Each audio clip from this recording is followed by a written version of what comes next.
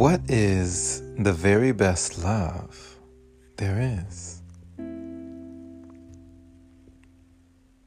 Self love. Self love is the best love. For if we do not give to ourselves, what do we have to give to others? If you do not give love to yourself, what love do you have to give? Just as we cannot pour from an empty cup, what doesn't go in cannot come out. I find it to be true that I am able to listen because someone listened to me. I find it to be true that I am able to love fully because someone first loved me. They say, if you can't be with the one you love, love the one you're with. And sometimes the one you're with happens to be you. What if you find yourself alone? Will you be lonely? Or will it be lovely? Would it be lovely just to be content with loving yourself? Not saying that to love another person is wrong or that we don't deserve love from another. But at the very least, you deserve love from yourself. We came in by ourselves, and we will leave by ourselves. For everywhere we go, there we are.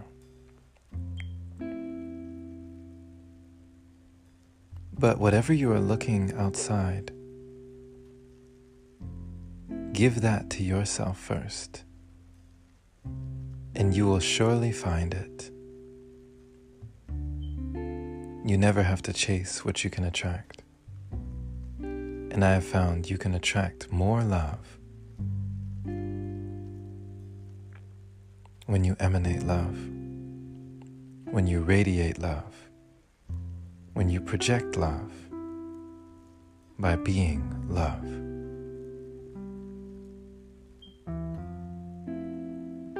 You are not a drop in the ocean, my friend.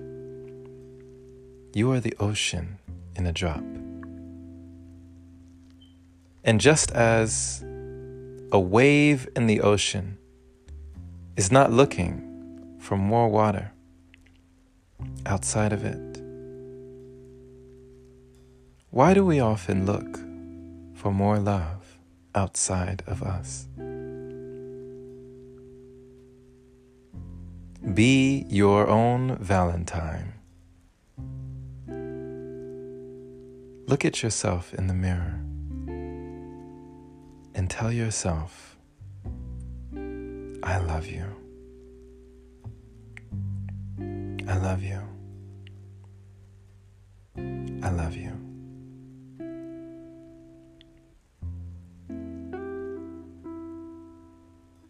This is not about ego or worship or narcissism this is about love. Love without judgment that is all encompassing. For the love you give yourself, you give to the world.